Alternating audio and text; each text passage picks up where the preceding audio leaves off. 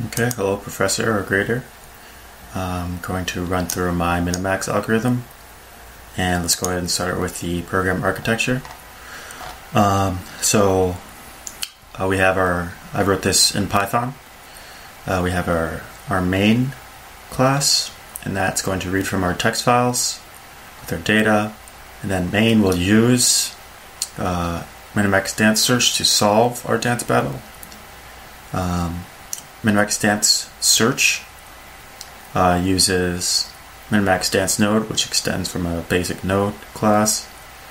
Um, also uses utility. Uh, we have the successor function and utility here.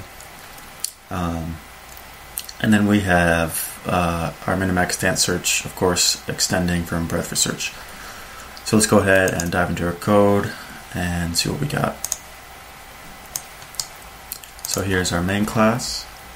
Um, basic imports, setting up our uh, minimax dance search algorithm. And basically the program flows like this. We read our content, we find our solution, we print the solution. Um, and we can print the solution here and see what we get.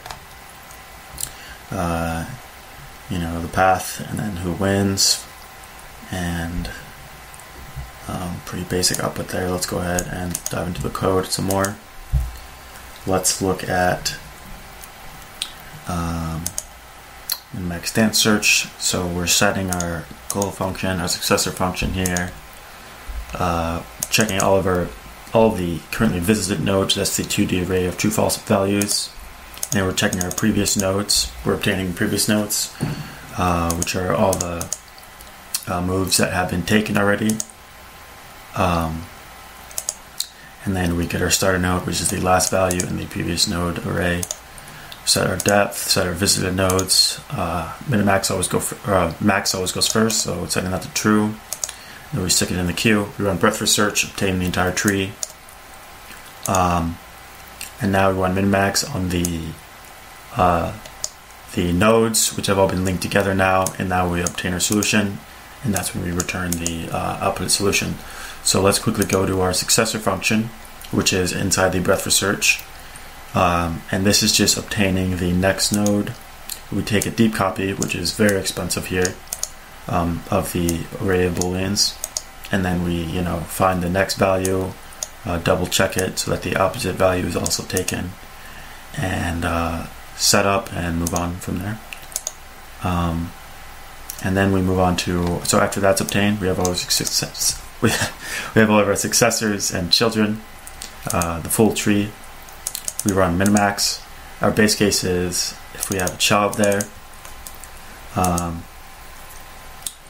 uh, if we don't have a child, uh, we turn our node. Otherwise, we want to see if this is max, because if this is max, we want to obtain the, the grandchild node with the greatest uh, value. In this case, it is just 1, because uh, this is a very simple minimax.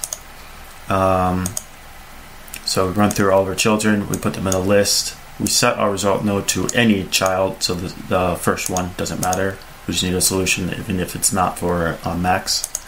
Um, and then we run through if uh, if the result is greater than one, then we save the the uh, node there, and then we return that node. And the same goes for uh, min. Um, so that is basic structure of my algorithm. Uh, it's a recursive solution.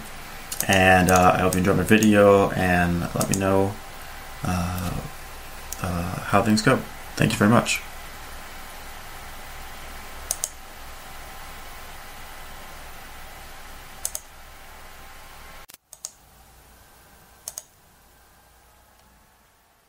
Okay, hello.